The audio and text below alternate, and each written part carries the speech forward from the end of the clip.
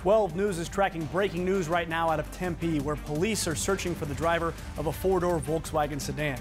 Investigators say three people, including a three-year-old child, were walking near Mill Avenue when they were hit by a car. All three had to be rushed to the hospital, but we've now learned that they are in stable condition. The driver, though, fled the scene.